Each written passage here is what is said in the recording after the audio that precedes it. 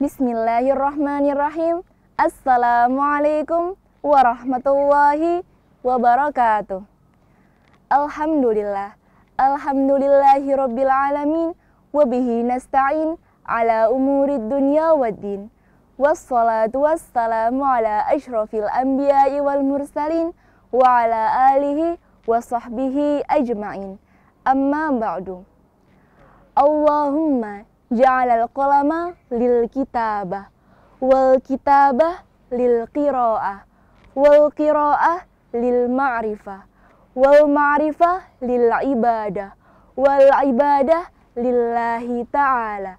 Asyhadu an la ilaha illallah wa asyhadu anna muhammadan abduhu wa rasuluh. La nabiyya wa la rasula ba'da amma ba'du. Puji syukur marilah kita ucapkan kepada Allah Subhanahu wa taala yang telah memberikan kita kesempatan sehingga kita masih bisa menjumpai bulan Ramadan, bulan yang penuh berkah dan maghfirah. Bulan yang di dalamnya terdapat perintah bagi umat Islam untuk menjalankan ibadah puasa.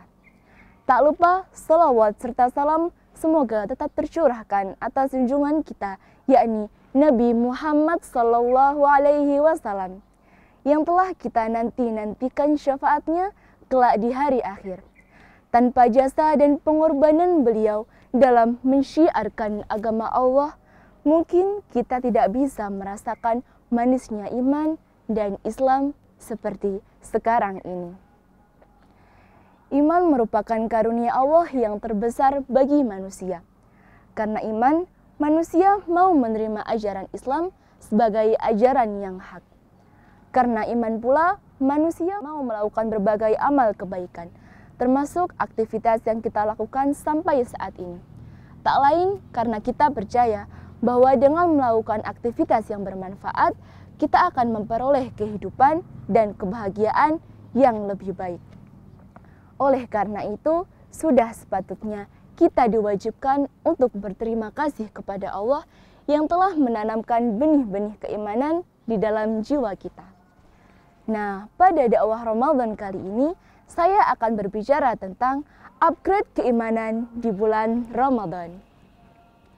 Sahabat muslim yang dirahmati Allah, kita semua tahu bahwa bulan Ramadan adalah bulan di mana keimanan seseorang akan diuji oleh Allah Subhanahu wa taala. Di mana kesalahan kita akan diampuni oleh Allah Subhanahu wa taala. Duka cita dan sukacita orang yang beriman akan selalu merindukan bulan yang penuh berkah dan maghfirah ini. Orang yang bertakwa akan berjuang selama 30 hari di mana bukan hanya menahan lapar dan dahaga, tapi juga menahan lisan dan perbuatan untuk memperoleh kemenangan. Kemenangan yang sesungguhnya bukanlah hanya dengan mengenakan pakaian baru, perhiasan baru, rumah, atau bahkan mobil baru. Namun, kemenangan yang sesungguhnya adalah di mana kita bisa menjadi pribadi yang lebih baik lagi, lalu tetap istiqomah, menjaga kualitas, dan mengupgrade keimanan kita. Orang yang beriman dan bertakwa akan menjadikan bulan Ramadan sebagai ladang untuk memperbaiki kualitas iman di hari-hari selanjutnya. Allah Subhanahu wa taala berfirman dalam Quran surat Al-Baqarah ayat 183 yang berbunyi A'udzu billahi minasyaitonir rajim. Bismillahirrahmanirrahim. Ya ayyuhalladzina amanu kutiba alaikumus siyam.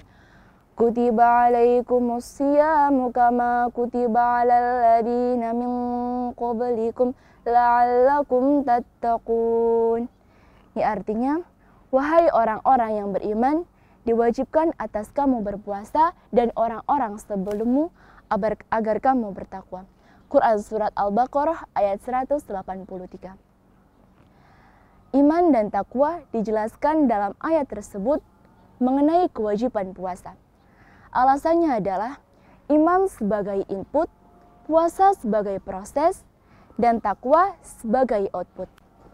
Sebagai manusia, kita diharuskan untuk beriman kepada Allah dalam menjalankan ibadah puasa.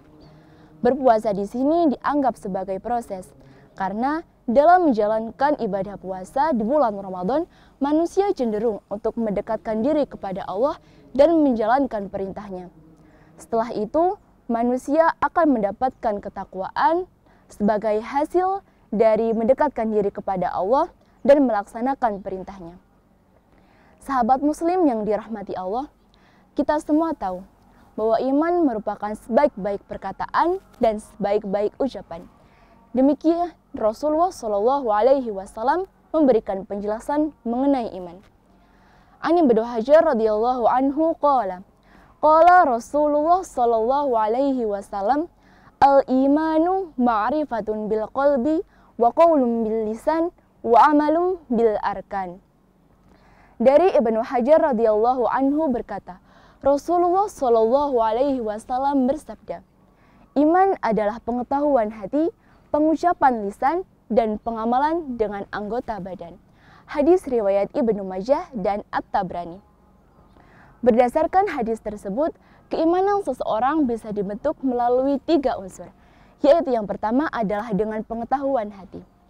Hati yang merupakan pusat satu keyakinan sepakat bahwa dalam diri manusia terdapat dua pokok kejadian, yaitu terbentuknya jasad dan rohani. Sebagai orang yang beriman, kita harus ma'rifat kepada Allah, karena tanpa mengenal Allah, mustahil seseorang akan beriman kepadanya. Yang kedua adalah dengan pengucapan lisan, wa bil lisan. Setelah mengenal Allah dan meyakini dengan sepenuh hati, kita diwajibkan untuk meyakini dan mengikrarkan dengan lisannya itu mengucapkan dua kalimat syahadat. Yang ketiga adalah pengamalan dengan anggota badan. Wa amalum bil arkan. Al-Imam Ibnu Qayyim Al-Jauzi pernah berkata, hakikat imam terdiri dari dua, yaitu perkataan dan perbuatan. Perkataan ada dua, perkataan hati yaitu i'tikad dan perkataan dengan lisan, yaitu mengucapkan dua kalimat syahadat.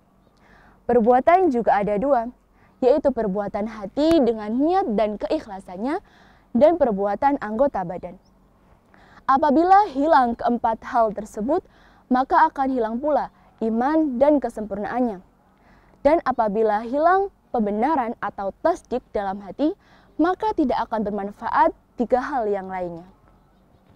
Sahabat muslim yang dirahmati Allah, iman yang semakin kuat selalu diiringi dengan meningkatnya amal soleh.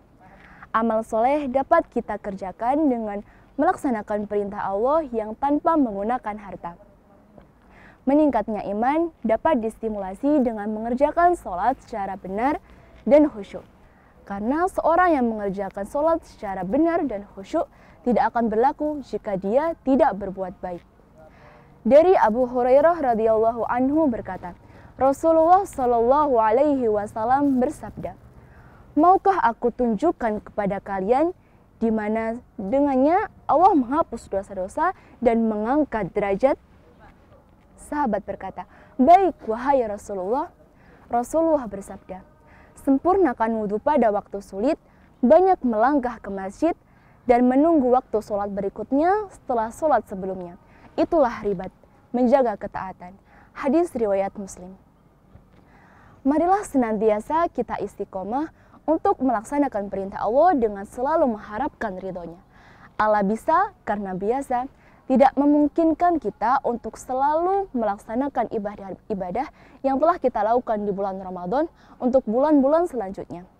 Apabila kita terbiasa untuk bersedekah, maka tidaklah sulit untuk bersedekah lebih.